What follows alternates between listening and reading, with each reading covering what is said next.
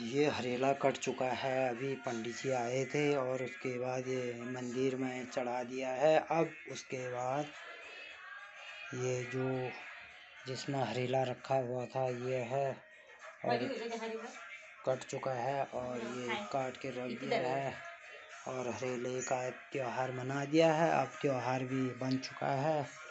अब उसके बाद अब खाने की तैयारी होगी भैया। ये थोड़ी सी भटोरे बना दिए और थोड़ी कुरकुरे वगैरह बना दिया।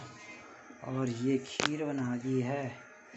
और थोड़ी सी चावल, थोड़ी सी दाल ये बनेगी और इसमें सब्ज़ी बना दी है।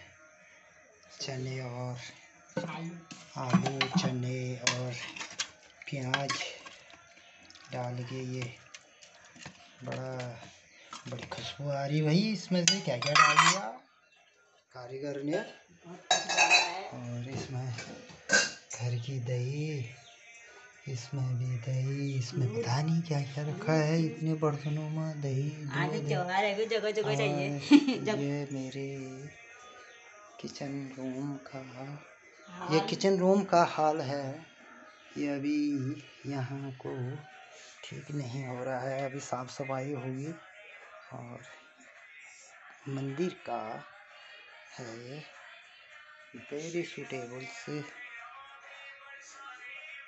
हरेला का त्यौहार। धन्यवाद, नमस्कार, प्रणाम, सबको मेरा छुप के प्रणाम।